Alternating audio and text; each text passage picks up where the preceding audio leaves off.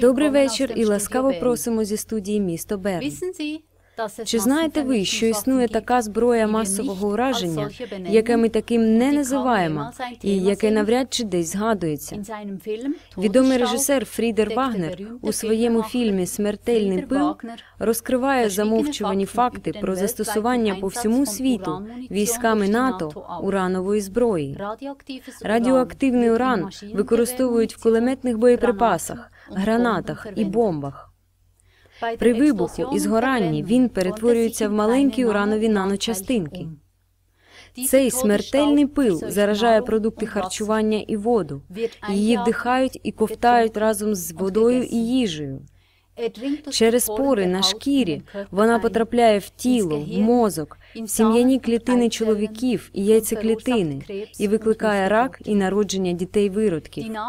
НАТО і американська армія застосували таку зброю в Балканській війні, а також в Афганістані та Іраку. Тому там заражені цілі області. З районів, де проходили бойові дії, повідомляється про найжахливіші випадки народження дітей-виродків і про високий відсоток хворих на рак серед дорослого населення. Майже у всьому світі, де НАТО застосувало цю зброю, було доведено наявність уранового пилу. Він практично не розпадається і заподіює шкоду здоров'ю во всі часи.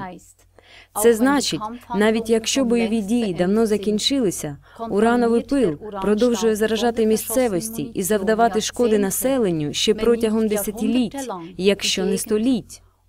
Цей незбагненний розуму злочин НАТО заподіює шкоди і знищує усяке здорове життя на довгий час. Ми в Клягімао ТВ називаємо речі своїми іменами. Злочин проти людства. Перед обличчям такого безправ'я ми не можемо мовчати. А що станете робити ви? Бажаємо вам доброго вечора.